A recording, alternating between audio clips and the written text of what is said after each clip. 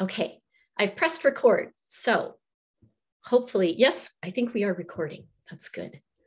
Um, okay, that's it. In terms of questions, I will try to monitor. I'm not, no, I'm not going to say that. I'm not going to be able to monitor the chat and give the talk at the same time.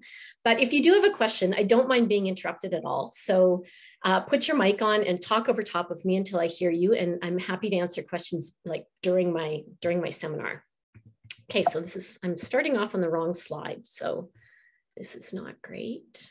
I'll go back to the beginning and get my laser pointer. Okay, now I'm ready. All right, so I, I've changed the topic of my talk a little bit from when the notice went out at the end of August. Um, recognizing that, you know, we're all tired of Zoom meetings and that for some reason Zoom seminars seem to be about double the time that regular seminars are. Um, I'm cutting out this respiration piece of my talk uh, just to, to keep it hopefully to 40 to 45 minutes. So there's time for questions after. And what I'm going to do is just in the first part of my talk, I'm going to sort of give you a 20,000 foot overview of um, what my lab's doing, what they've been doing for the last 20 years. And then for the last part of the talk, I'm going to completely switch gears and talk about a brand new research direction that was started by uh, a single trainee in the lab um, and that I'm, I'm thrilled to say we just got NSERC funding to study for the next five years. So I'll tell you a smaller story at the end and kind of give you a, a big picture overview at the beginning. I like thank yous and I like to start with thank yous and I like to have thank yous through my talk and I like to have thank yous at the end. So I'll start with thanking my group right now in my lab. Um, my grad students, Val Spiklis, Justin Bishop, Kat Pick, who you'll hear more about later, Tim Cho and Ashley Gilliland, uh, research associate Brent Weber, and this is a 499 student Ayushi Patel from last year.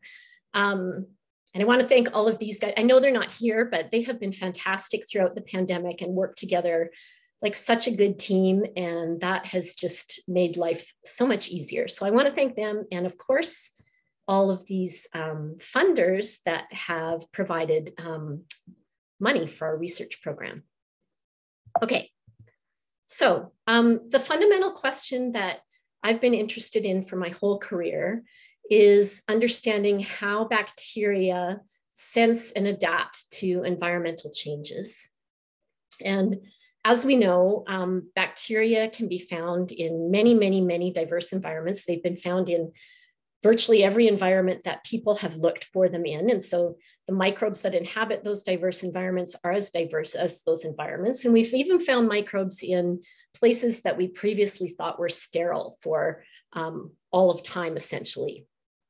Uh, our favorite bacteria in my lab is Escherichia coli, which is a natural inhabitant of the mammalian intestine. And this um, topic of the, this idea of sensing and adaptation is really relevant to um, E. coli and bacteria that habit this, inhabit this niche because they can be exposed to so many different potential stressors and changes in the environment during their life cycle. So while E. coli, e. coli is normally in our intestine, it can be shed, of course, and when it is shed, it can survive in water, in the environment, in agricultural settings, in our food to cause problems. Um, and then it can be re-ingested and it can withstand um, just massive changes in different environmental signals throughout the gastrointestinal tract to recolonize the intestine. So throughout our GI tract, there are dramatic changes in uh, temperature, in nutrients, in pH, um, in the concentration of oxygen, in osmolarity. There are um, immune molecules in cells like bile and uh, reactive oxygen and nitrogen species, antimicrobial peptides. Um, and of course, there are many, many microbes in and on our bodies, as well as the bacterial viruses or bacteriophage that um, reside within them and can be released um, to give microbes a competitive advantage. And this is what I'll be talking about towards the end of my talk this afternoon. So all of these environmental changes impact the envelope first. And in gram-negative bacteria, the envelope consists of uh, two modified lipid bilayers that surround a soluble uh, paraplasmic compartment um, where the cell wall resides, which is made of peptidoglycan, of course. So in all of the slides that I'm going to show today, where I have the envelope diagrammed, the cytoplasm will be at the bottom, the outside of the cell will be at the top. Um, a little more about this compartment, because this has been the focus of, of my lab's work for a long time. Um, the, the, it's bounded by these two membranes, the inner membrane or cytoplasmic membrane, which is a phospholipid bilayer, and the outer membrane, which contains phospholipids on the cell-facing side, and then this modified lipid called lipopolysaccharide or LPS that coats the outside of the cell. Um, this whole compartment, the periplasm and both membranes, are very dense with all kinds of proteins. So we have intermembrane proteins that are rich with transmembrane alpha helices. We have beta barrel proteins, which are unique to bacteria, mitochondria, and chloroplasts um, in the outer membrane. And then we have um, lipoproteins that contain um, N-acyl modifications at their N termini that anchor them either in the outer membrane or the inner membrane. There are many soluble proteins in the periplasm, and there are many proteins that are linked to this peptidoglycan cell wall. So it's a pretty complex compartment.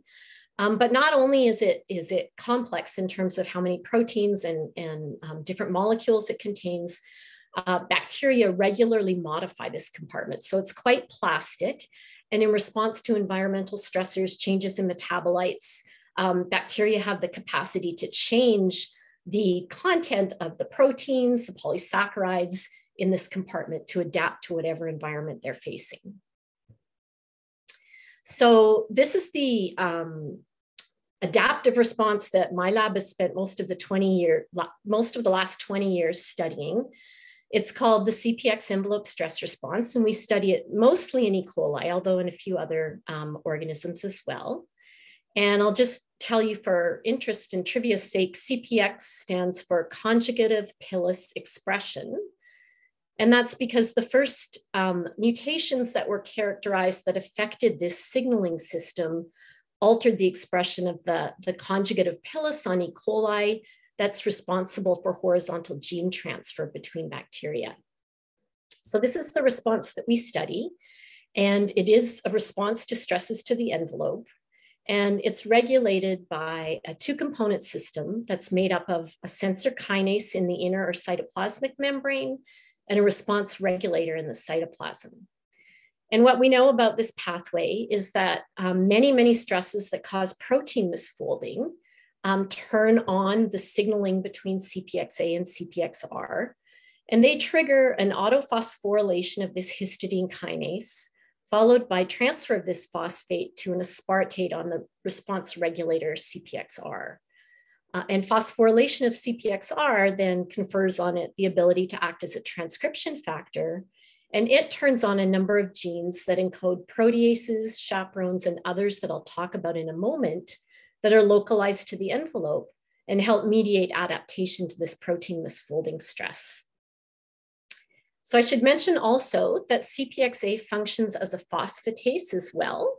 So in the absence of protein misfolding or envelope stress, it has the capacity to remove phosphate from CPXR and maintain this pathway in an off state.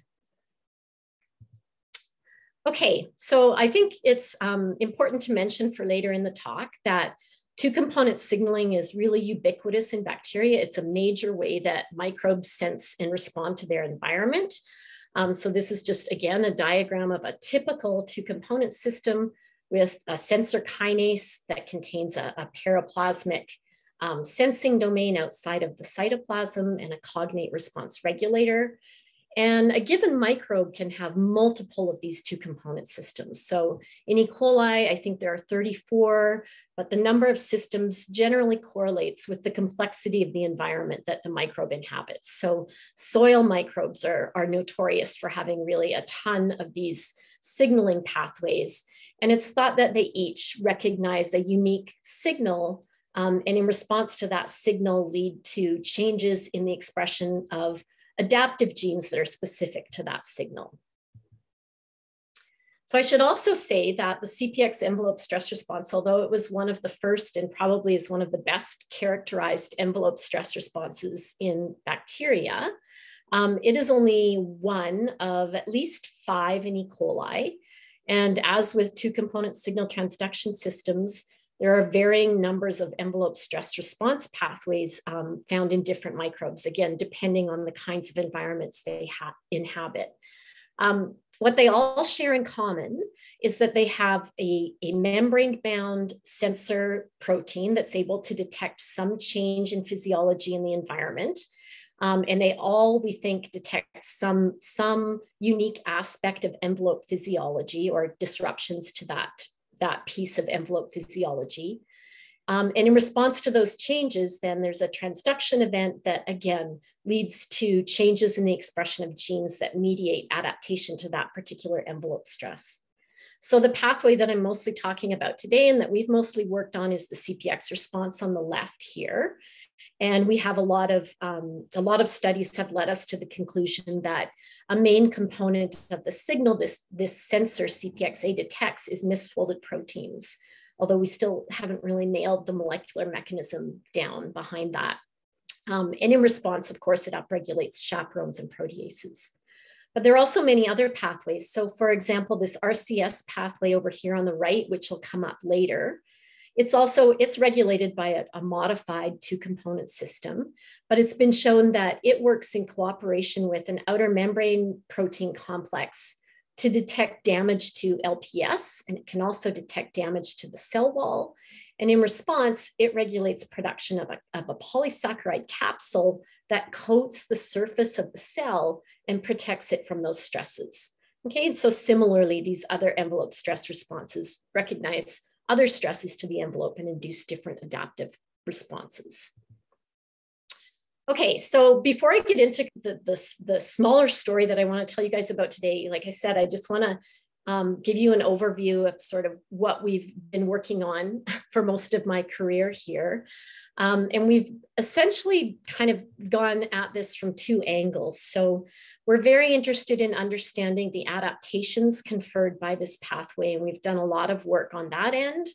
But as I just mentioned, we also are really interested in understanding how this signaling event happens. And, and this is a still a pretty wide open area in this two component signal transduction field, even though these regulators have been known now for, for quite a long time. So on the, the response, the adaptation side, we've done a number of transcriptomic studies. Uh, and I've tried to kind of diagram the outcome of those in this little bacterial cell at the bottom here. Um, essentially, what we've shown is that the CPX response does not only um, lead to changes in upregulation of proteases and chaperones in the envelope to deal with this misfolded protein um, signal, it also regulates the expression of um, many membrane associated proteins. So proteins that are involved in transport across the cytoplasmic membrane, um, protein complexes involved in efflux of wastes and toxins from the cell, um, protein complexes that work in um, uh, iron homeogenesis or homeostasis, uh, proteins involved in respiration and metabolism at the membrane, um, and these multi-protein envelope complexes that consist of many proteins localized across all compartments of the envelope.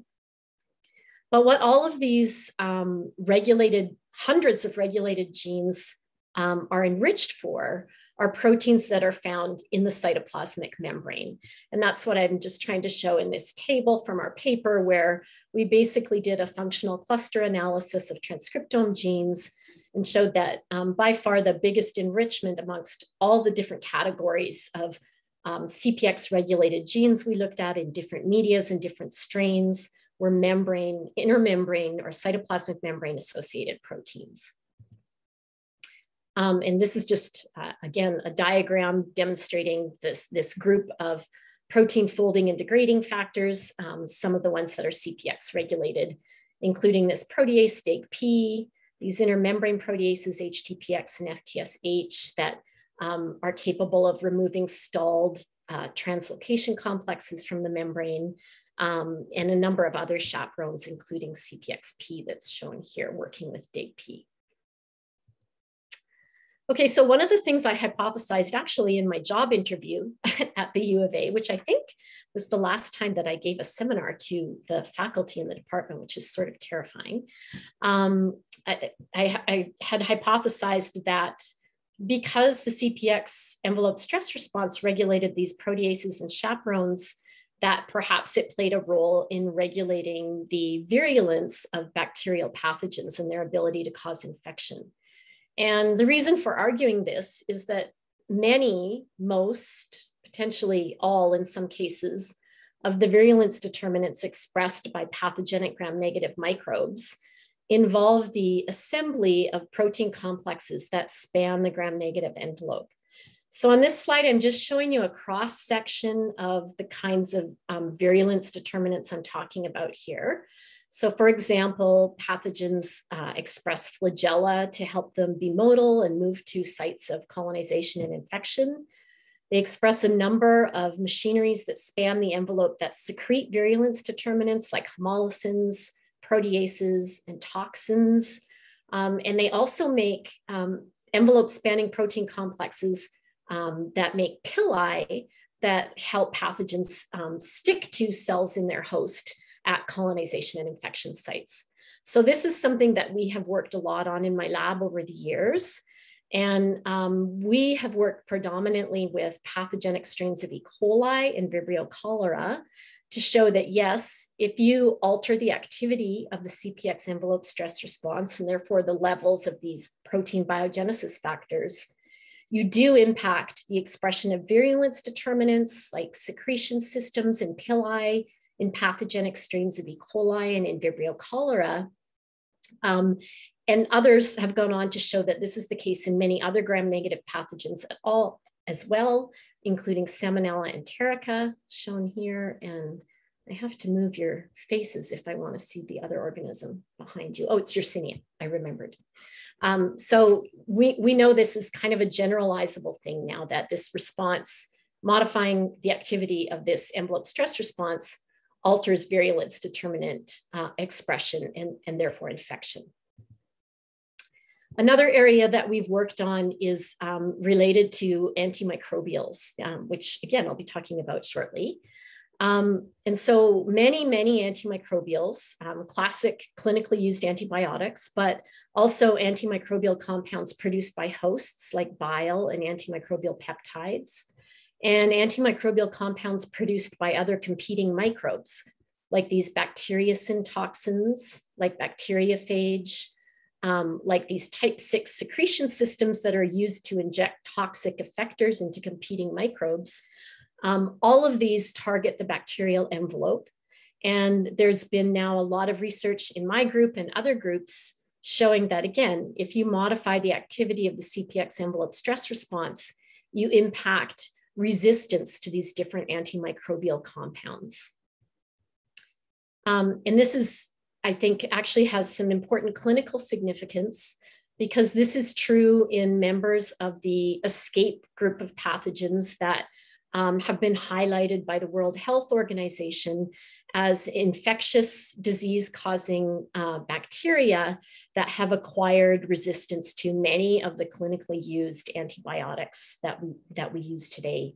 And so um, on that list are Enterobacter species, um, Klebsiella, and Pseudomonas. And this is just a partial list of um, bacterial pathogens where my group or others have looked at the impact of altering the CPX response on resistance to different antibiotics that are used in the clinic. Okay, so that's the one side that we're interested in is sort of what are the adaptations conferred by this response. Um, the other side that we've been really interested in studying is the signaling side. And um, really, as I mentioned earlier, in two component signal transduction, um, this is still a bit of a mystery how these sensor proteins detect these unique signals and what the molecular mechanisms are behind um, their ability to sense different signals and, and transduce those into uh, uh, a, transdu a, transduction event. Um, so we've taken the approach with the CPX response, kind of a two-pronged approach Um, one thing that we've done is we've looked for proteins that interact with this sensor kinase to begin to understand signaling complexes. We've identified a, a novel chaperone in the periplasm called CPXP that's involved in regulating sensor kinase activity when the pathway is off. Um, and we've shown that this novel lipoprotein NLPE, which resides at the outer membrane, um, interacts with OMP-A, and that this complex is important for interacting with CPXA and for um, transducing a signal that results from adherence of E. coli to a solid surface. The other thing we've done on the signaling side is we've with our longtime collaborator, Mark Glover in biochemistry, we've been trying to solve the crystal structure of these signaling proteins. And so this is the crystal structure of CPXP that we solved some time ago now. Um, and down here is the crystal structure of the CPXA sensing domain. Uh, and this work has allowed us to identify um, ligand binding sites um, and to look at how those interact with some of these other proteins and some of the signals that we know induce this pathway.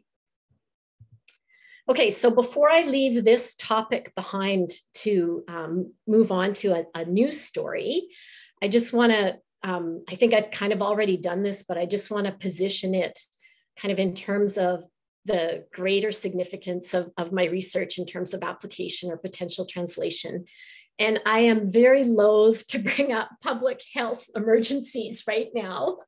But um, there was this report out of the UK in 2014, which predicted that by the year 2050, um, more people would die from infection with antimicrobial resistant bacteria than um, from cancer.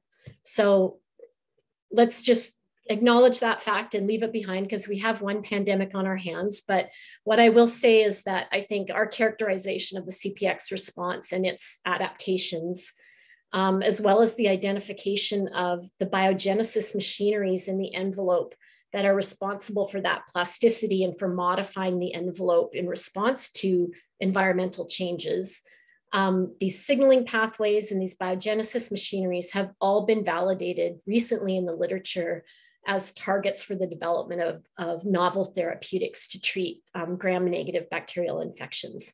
And so I'm, I'm excited to see where that goes in the coming years. So far, nothing has come out of this yet um, in terms of clinical trials, but there, there are real efforts in this area right now.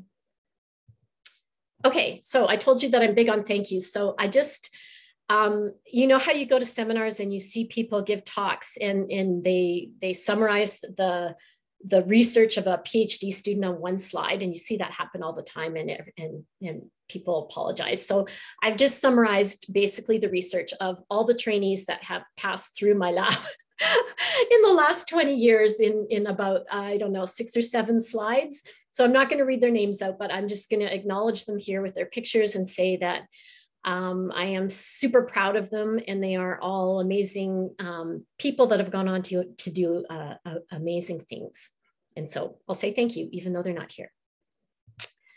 Okay, so I'm going to switch gears now um, and talk to you about a current story in the lab that is sort of changing our direction. And it starts with this 2014 paper out of my colleague Mark Goulian's lab um, in Pennsylvania. So this, this paper described uh, a new commensal strain of E. coli called MP1 that Mark's lab isolated out of um, a mouse intestine from mouse species. And the reason why I was excited about this is um, that although you know E. coli is one of the best genetic model organisms in the world, and we have a gajillion resources to study it, and we have learned so much about microbial and cell physiology from it. Um, there aren't really great ways to study what all of those things mean in nature, in the natural environment of E. coli um, where it lives. So we've spent a lot of time studying pathogens, pathogens of E. coli, but also Vibrio cholera. And there are animal models of infection for those pathogens, but um, they all have problems that you know they don't mimic the human um, infectious disease situation well Similarly, with E. coli K12, um, you know, we we are so lucky, as I said, to have all these tools to study it. But E. coli K12, and, and especially the varieties that are used commonly in labs, is incredibly domesticated to the point where it, it can't live in an intestine anymore. Um, and we also know that it, it is, is not a good representative of kind of a, an E. coli from nature from our transcriptome studies. So when we compare you know, the envelope stress response from, uh, you know, our laboratory MG1655 E. coli to a, you know, a pathogenic E. coli that more recently came out of an animal, we see that, you know, the E. coli that more recently came out of an animal has a much richer, more sensitive envelope stress response than our domesticated E. coli K12. So I was really excited about this paper because it sort of represents, I think, a way that we can apply all the knowledge that we've acquired about signaling and stress response over the last couple of decades to really start to understand how this how this works in in in, real life for E. coli. So back to this MP1 strain, it was isolated from feces. And the great thing about this is that um, the Goulian lab isolated this strain um, by screening for, for a strain that would be genetically tractable. So a strain that would be, you know, just out of an animal, but also would be really amenable to all the genetic tools we have. So this strain can be genetically ma manipulated, just like our K12 strains that are domesticated. It's closely related to human E. coli commensals. And the Goulian lab developed um, red fluorescent and green fluorescent versions of this MP1 strain called MP7 and MP13, and they'll come up a lot in this talk, um, for the purpose of doing competition experiments with um, strains containing different mutations. Um, and then on the left here, you can see how well it's able to colonize, right? So if they temporarily disrupt the microbiome of the mouse with streptomycin, they can then take away the streptomycin, gavage in MP1 into these mice, and colonization is um, stable up to after 71 days, which was, I think, the last time that they, that they looked. So not only this, in this same study, the Goulian lab made mutations in either this red fluorescent MP7 or this green MP13 in each of these response regulator proteins um, that are involved in um, the control of all these two component systems. And then they competed each of those individual mutants with a wild type strain that was a different fluorescent label. And they asked which ones had colonization defects. And excitingly for us, there were three mutants with severe colonization defects that were completely not competitive with the wild type strain. And they all were affecting um, regulatory pathways that are linked to adaptations in the envelope. So one of these is the ARC pathway. One is R pathway, the CPX envelope stress response. And another one was in that other envelope stress response I mentioned at the beginning of my talk, the RCS response. So just to remind you guys about, oh, sorry, oh dear. Okay, this is what happens when you have too many graphics in your slides and your computer doesn't like it.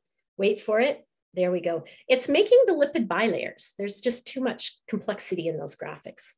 Um, so just to remind you about, about what those pathways do, that when they were knocked out, they, uh, they really impacted the ability of, of these E. coli to colonize the mouse. So the CPX response I've told you all about. This, this pathway um, responds to misfolded proteins, regulates a host of genes, but proteases and chaperones are a central part of this adaptation. RCS response that I mentioned earlier, again, is responsive to damage to LPS. And in response to that signal, it results in activation of genes for capsule which I've shown up here that kind of coats the bacterium in a protective polysaccharide goo.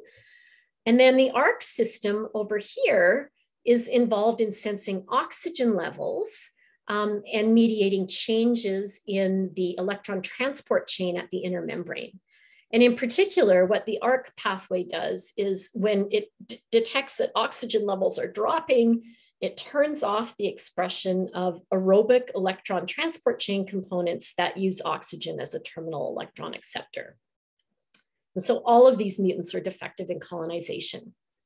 So now we're really excited about this. We have a good um, mouse commensal model to study. Um, and it, we know that it has this defect in colonization in these envelope adaptation pathways that we're very interested in. So this is when um, Kat Pick entered my lab as a biology 499 student.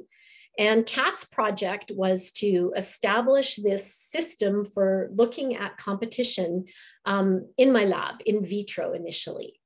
And so what Kat did is she just recreated these ARC, RCS, or CPXR mutants in this green version of this mouse commensal, so MP13.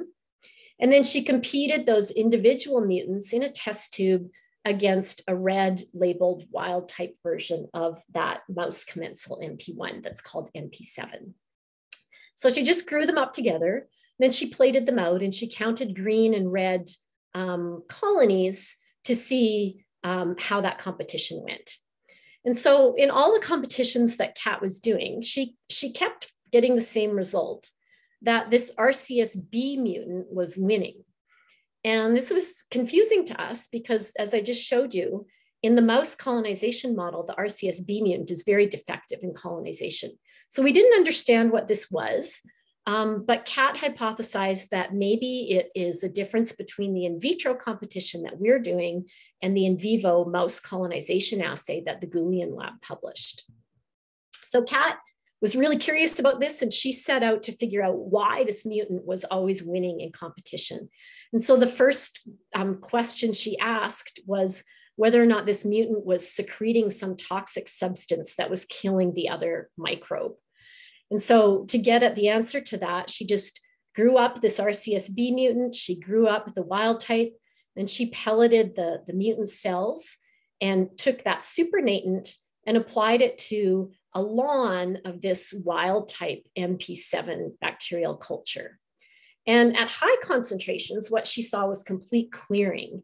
But when she diluted that um, supernatant down, she started to see these um, zones of clearing or plaques, which are really indicative of bacteriophage or bacterial viruses. So here's where I veer hard into bacteriophage. So I just wanted to um, remind everybody about how these work. So um, as I said, they're, they're viruses that infect bacterial cells. We call them bacteriophage or sometimes just phage. Um, and the interesting thing about bacteriophage is that they can grow in two different kinds of life cycle. So in one of these life cycles, they it's just kind of what we think about viruses, right? They infect a cell, they inject their genome, they produce more progeny phage parts, assemble them, um, burst the cell and release a lot more phage. And so this is, this is what we call the lytic cycle. And um, there are some bacteriophage that are only lytic. Other bacteriophage called temperate um, have another option. So they can infect a host cell, inject their genome, but um, these temperate bacteriophage have a choice. They, they can grow lytically, or sometimes they will integrate their genome into the bacterial chromosome, where we call it a prophage. Um, and then we call the, the bacterium containing that prophage a lysogen. And then that, that, bacteriophage genome can be propagated indefinitely as part of the bacterial chromosome until some kind of a stress is encountered that causes the, the bacteriophage genome to excise from the chromosome and re-enter lytic growth. And then the whole thing can happen all over again. So that's those are some um, phage facts for you. So Kat suspected she was looking at a phage. So the first thing that she did is she just examined the supernatant of this mutant um, using negative staining and transmission electron microscopy. And she saw these uniform um, icosahedral heads with short tails that are kind of classic morphology indicative of the Podoviridae family. Um, and so Kat, at this point, was starting to ask the question of whether that competition phenotype that she had seen was due to this RCSB mutation or whether it was just an effect of, of this bacteriophage that um, was associated with this strain. And so she went back to all the original strains that we had gotten from the Goulian lab. So the unlabeled MP1, the green fluorescent labeled MP13, and the red fluorescent labeled MP7 that are all wild type now. There's no other mutations in them. And she screened their supernatants for killing activity um, and, and also screened them in competition experiments.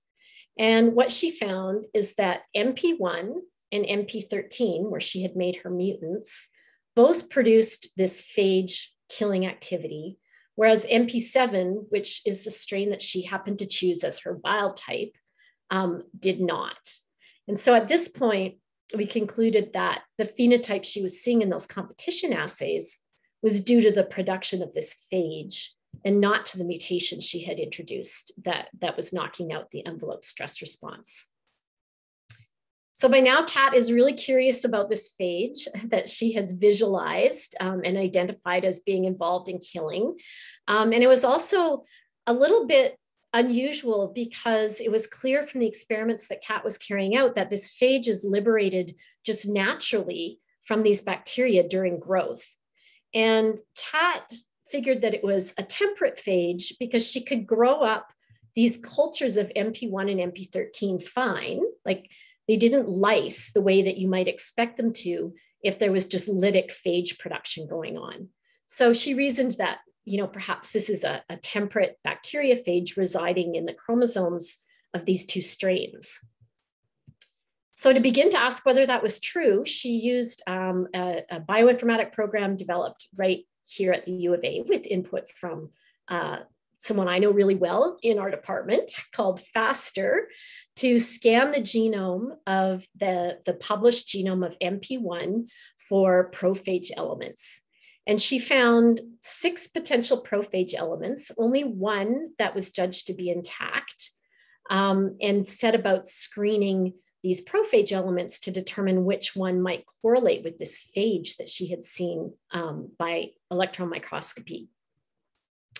And so to do that, Kat designed um, primers to genes within each of these prophage regions. And then she PCR'd either genomic DNA or she isolated phage stocks, so um, phage lysates just really packed with bacteriophage but lacking any bacteria, and treated them with DNase, and then did PCR on those. And so you can see that all of the genomic DNA um, amplifies with primers that amplify genes specific to those prophage regions that were detected. Um, but when she looked at um, phage lysates, only one of these um, primer pairs amplified a region, and it only amplified a region from MP13. And so that one PCR product um, corresponded to, oops, sorry, I went too far. This intact, predicted intact bacteriophage that was detected with FASTER. Okay, so Kat went on to sequence the whole genome um, of, of all of the strains that we had, MP7, MP13, and MP1. And she could, she uh, isolated this phage from the strains where you would predict it to be, annotated its genome, um, and demonstrated that it is a, a, novel genus and species of Podoviridae, and it's present, um, as I said before, in MP1 and MP13, but not in MP7. Um, she showed that it was a temperate phage and she identified the insertion site in the bacterial chromosome um, as occurring in this ARG-W gene, uh, which is a, a, tRNA locus in a hypervariable region of the E. coli chromosome. And she went on to do some taxonomy and showed that, again, this is a novel Podoviridae, It had less than 60% sequence similarity to any other characterized Podoviridae genus. Um, and with the, the virus or the bacteriophage that was most related to it, it's called um, SF101. And you can see kind of this big green chunk here that demonstrates an area of conservation. Um, this is the, the virion morphogenesis module that's the most conserved. The rest of it is um, relatively novel. Okay, and again, in looking at taxonomy, she found that it was most closely related to phage P22 and from Salmonella and this SF101 phage from Shigella. Okay, so there's CAPI1 and then kind of all of its kind of close, closest relatives. Okay, so Um, now we are really excited about this project that took us completely off in a different direction from envelope stress responses because we have a good commensal strain of E. coli that colonizes the mouse well, and we've identified a novel bacteriophage that is a resident of this um, microbe. And so this got us looking and cat looking specifically at the literature around um, bacteriophage and gut microbes. And what Kat discovered is, first of all, I, I, I, mentioned in my introduction how prevalent bacteria are in every environment on Earth.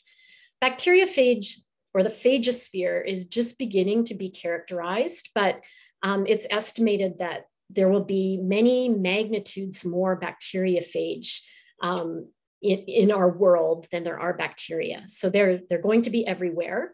50% um, of the sequenced bacterial genomes contain prophages. And these prophage elements integrated into the bacterial chromosome are enriched in intestinal bacteria. And in Enterobacteriaceae, they are found in all of them. So this suggests, sorry, my, this suggests to us that lysogeny or the carriage of these prophages plays an important role in colonization of the gut. Um, and then also interestingly, these lysogens, there's been a few studies of um, bacterial lysogens out there demonstrating that um, just carrying a prophage can alter the physiology of the host and confer increased stress resistance, increased growth rate, and altered biofilm formation. So Kat set out to investigate um, this bacteriophage um, host interaction with this MP1 commensal isolate um, thinking that they're, you know, we're really, again, excited to use this as a model to uncover kind of some new paradigms behind how this relationship happens, how it affects the host, and how that impacts colonization. So what Kat showed right away when she started looking um, and comparing the, the wild type non-lysogen to the lysogen carrying CAPI1, which is what she called her phage, the first thing she noticed is that um, the presence of the phage leads to decreased growth, um, especially in the stationary phase of growth, and it's more variable. And Kat speculated that this was because um, in this stationary phase, this is when these bacteriophage are, are being released. And so she checked that by, again, um, measuring both the loss of CAPI1 lysogens in this stationary growth phase, as well as the production of um, virions sorry, my, uh, I'm just gonna get that, this out of my way. Sorry, I have you guys' faces in the wrong place. Oh, and that's the wrong thing. Okay, um, yeah, and she also she also measured plaque forming units at stationary phase, and she found that um, there's about 0.03 plaque forming units per colony forming unit at stationary phase. So these um, lysogens are liberating phage, and that's causing them to have a slower, more variable growth rate. So it is impacting the physiology of, of its E. coli host. Um, so I mentioned that bacteriophage have also been shown to impact stress adaptation. And so given that cat's CAPI1 phage is released in stationary phase, Kat asked if there was any impact on the major stationary phase stress response um, conferred by integration of that phage into the bacterial genome. And so to do that, she looked at levels of expression of this transcription factor called sigma S, which is sensitive to nutrient deprivation and various stresses that happen during stationary phase growth. Um, its, its expression gets dramatically increased and it leads to the upregulation of factors that lead to broad cross resistance to these stresses.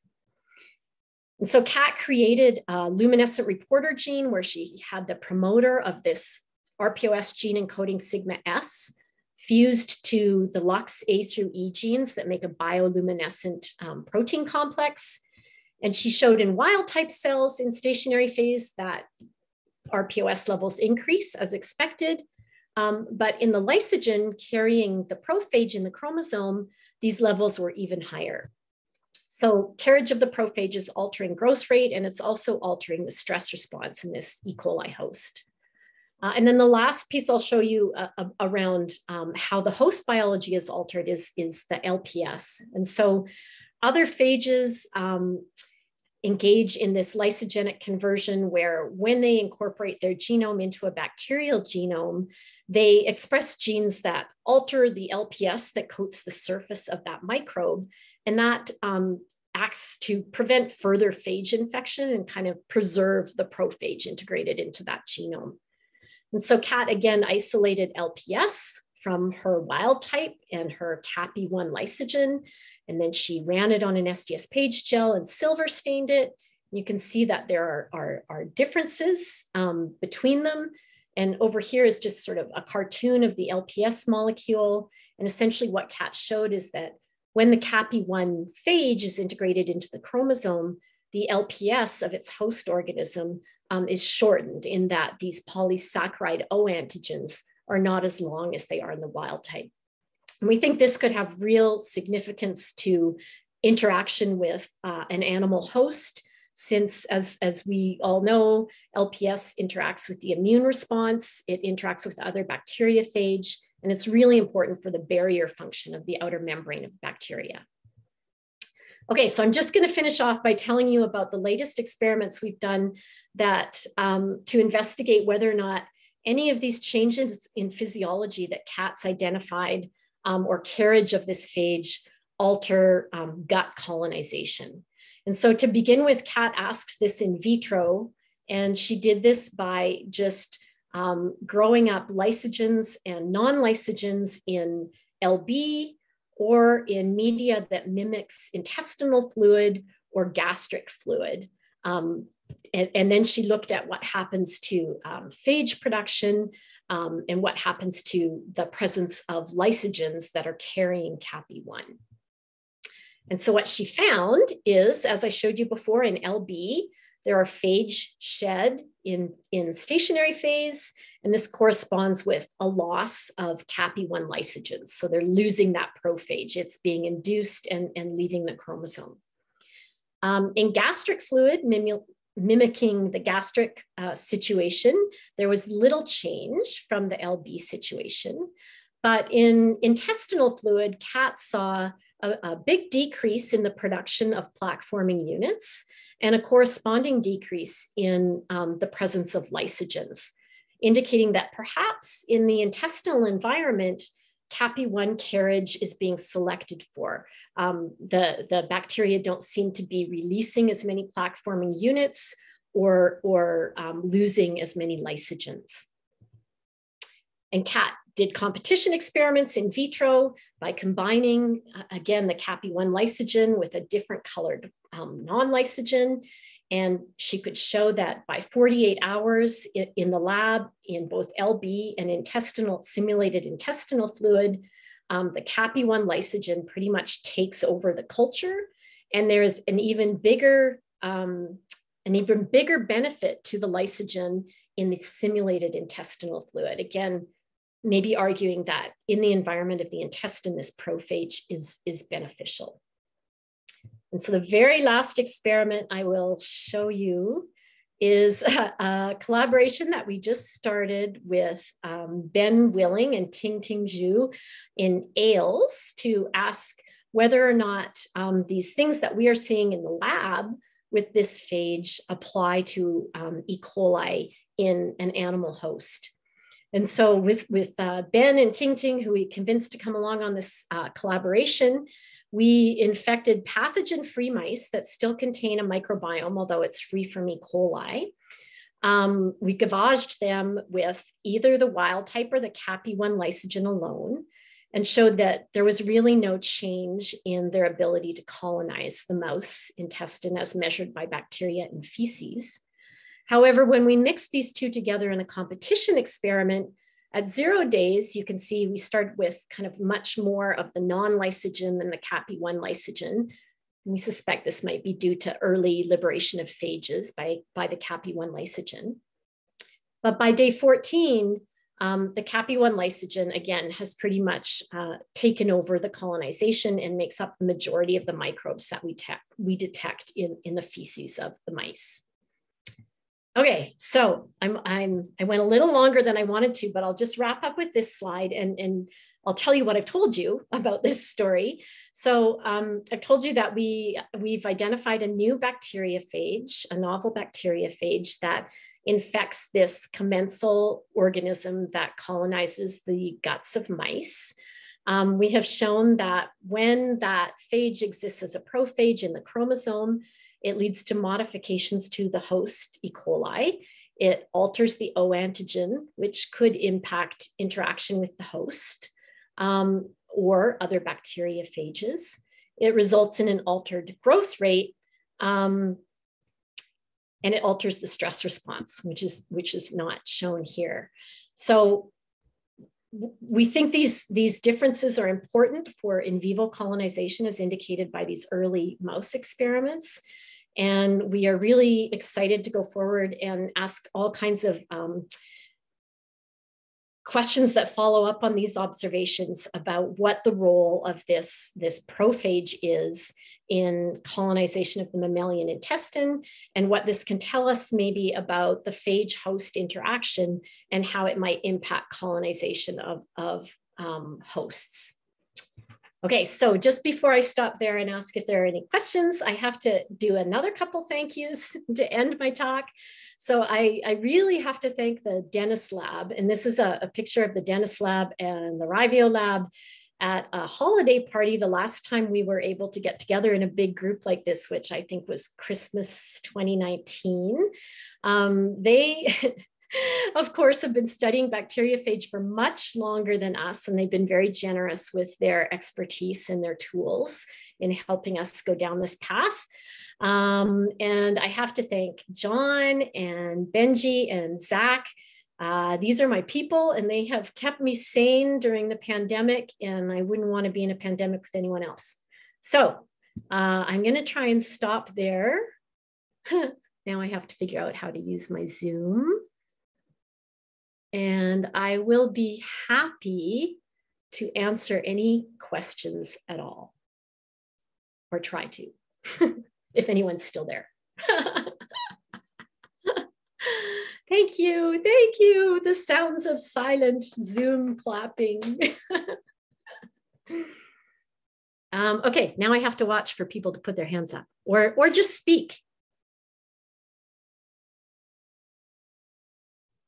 Hi, Tracy, is Heather here. Hi, Heather. I don't have a question, but I just wanted to say hi. And hi. to say that uh, this is helpful because I'll be doing my Biology 108 lectures on uh, bacteria soon. And it's good to Excellent. get a little refresher uh, about oh, bacteriophages. So I now don't have to study so much. Thank you. Excellent. I'm glad I could provide a primer. Thanks, Heather. It's nice to hear from you. Anybody else?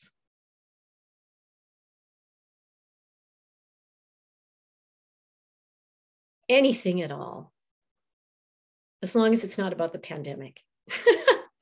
Declan. Hi, Tracy. Yeah, uh, great talk. I mean, you know, it, it's not my field, so a lot of it was sort of over my head, but uh, but some of it wasn't, and so that that's pretty neat. Um, I do have a question. So, you know, you mentioned that you see these changes in mice. What relevance do you see for humans down the road for this, or if any? Well, I mean, we know E. coli inhabits mammalian intestines. And so I'm, and we know that this isolate that we are using shares some similarity to human commensal E. coli. So my hope would be that a lot of what we are finding would be directly translatable to the human situation and colonization of the gut by um, E. coli species that, that live in live in our GI tracts. Um, yeah, I think I think I'll just leave it there. That that's that's our hope, and we hope by using this kind of simpler model system that we have, where we're starting with you know one bacterium and one phage, that maybe we can ask you know some some actual kind of cause and effect mechanism questions with this mouse model. So mm-hmm. that's the plan is to kind of break down these very complex interactions that are happening inside of a gut with, you know, many, many, many, many, many different kinds of bacteria and phages um, to look at, you know, one situation and hope that we can learn some things that apply to this more, more complex um, environment in the microbiome. I'm glad that some of it was was comprehensible. okay, uh, okay, the chat is, uh, let's see, Olaf, can you explain the computational strategy to search for phages? okay, I knew someone was gonna ask that and I very briefly read about it and I'll just preface my answer by saying that this is not my area of expertise, but uh, my understanding of it, and John can interrupt me if he's here and I'm getting this wrong, because he actually worked on the first version of this um, with the Wishart lab, I think. So my understanding is that it looks for um, a variety of things, but at the center of a lot of it are um, homologs to known bacteriophage genes and then it also looks for multiple bacteriophage genes that are occurring together and the distance between them to identify bigger prophage regions. And I think that's the basic concept. But again, if John's here and he knows more about that, he can he can chime in. Yeah, I'll chime in. Uh, okay. that's essentially correct. Uh, we uh, looked at capsid, tail fibers, and tails, and looked to see when they occurred, the genes occurred within a, a phage sized uh, area. And so that, uh, along with a lot of uh, modifications to that, and um, again, secondary searching for other phage genes, that put together the idea that there would be a prophage in that area. And is Illumina sequencing good enough for that? Yeah. Yeah. Okay, great. Thanks. Thanks, John. John, the other the other John.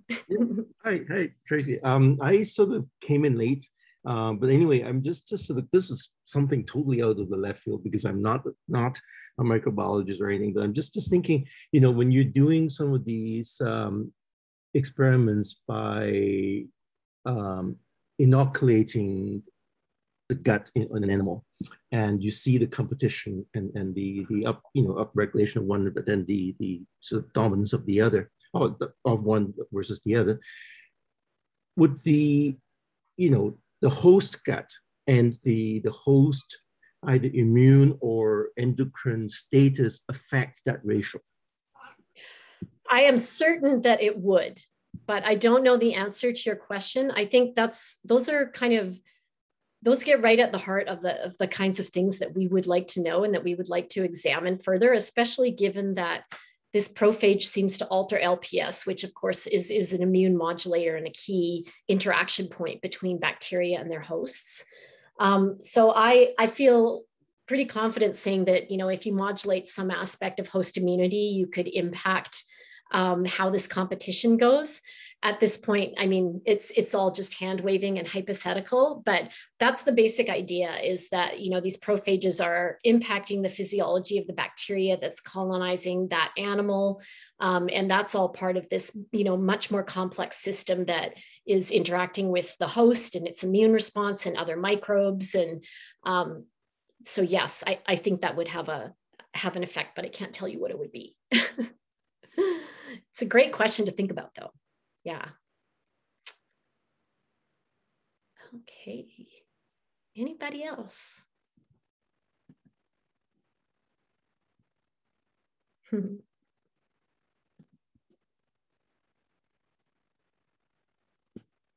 okay. Well, thanks everybody that's writing. Thanks for the comments in the chat. And thanks again, everybody for showing up. I am so glad that I wasn't, you know, in this room with three people giving my talk. That makes me feel uh, really happy. So it was, it was great to see everybody um, and hear voices and good luck with the coming weeks. Uh, you'll be hearing more. from me, most definitely. And um, actually, I'll just take a moment and thank everybody that's here for all the efforts that everyone is putting in with, with teaching right now and going the extra mile. I know it's not easy, and I know it feels like it's changing on a daily basis, which this week it is.